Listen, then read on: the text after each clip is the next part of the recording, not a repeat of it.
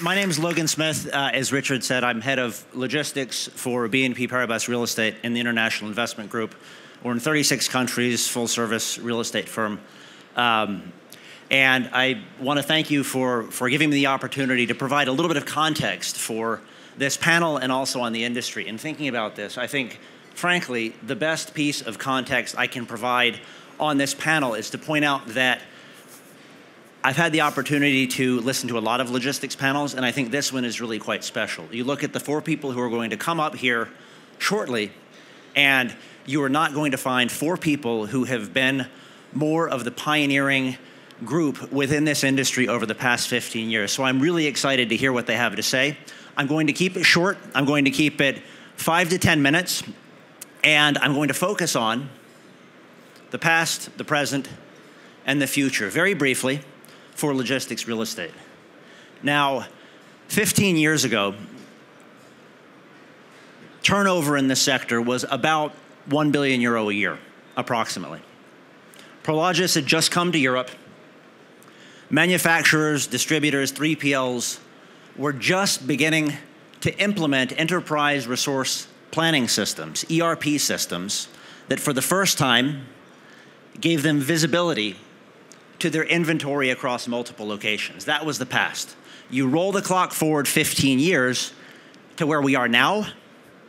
Last year, turnover in this industry was around 30 billion euro, approximately. E commerce constituted about, well, e commerce is basically everywhere, but direct to consumer e commerce constituted about 20% of new take up. And logistics real estate is now about 11% of all commercial property. So clearly, this industry has grown an extraordinary amount in the past 15 years. So that is the past and the present, and that is the easy bit because the future is the much more difficult piece to predict. We don't know exactly where we're going to be in 15 years. However, we can make some guesses. We do have enough information available to put some chips on the table, to think about what we might see over the next 15 years, five years, 10 years. It's difficult to say exactly. So, what are some of these projections, some of these guesses? Firstly, I think we're all fairly confident that it is going to continue to grow. The growth that we have seen over the past few years has not stopped and it does not seem likely to. There's a couple of reasons why. Firstly, warehouse stock in Europe, modern warehouse stock in Europe remains only about one third of the level in North America. Prologis had a study that indicated that for every euro, pound, dollar spent in e commerce, that requires about three times more warehouse space than that comparable volume of sales via traditional retail channels. The reason is for additional mezzanine, additional loading, additional truck courts, additional people working in the buildings. It seems fairly sensible once you think about it. Now, there's another statistic that suggests that of total retail spend in Europe, it's about 5 to 10%. So, 5 to 10% on average of what Europe buys is online. This figure, according to Gartner, is expected to plateau around the mid teens or around 20% over the next medium term. And if you imagine two to three times more e commerce than we currently have, all of which requires three times more warehouse space, implicitly, you could argue that we're somewhere between six to nine times underserved for e commerce space. Now, I think that this figure is probably an exaggeration. That's probably not the right number, but it's meant to illustrate the range and the order of magnitude of the change that may still be yet to come in this space. So you put it all together and you look at where tenants have been looking for space over the last few years, clearly there's more demand coming.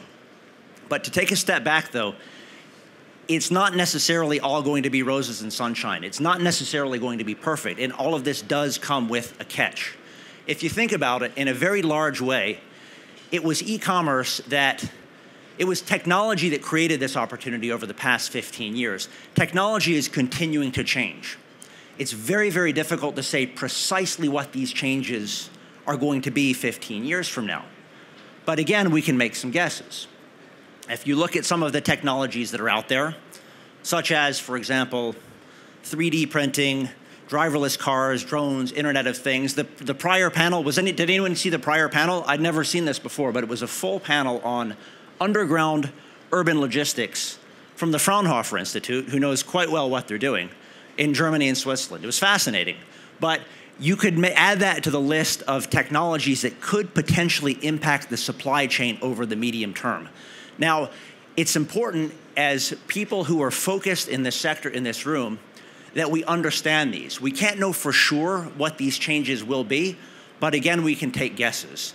Just as with any other underwriting assumption for real estate, we can guess. At BNP, we're developing a tool, for example, a tool set that basically tries to estimate what we think are some factors of buildings that will be well suited for next generation e commerce space.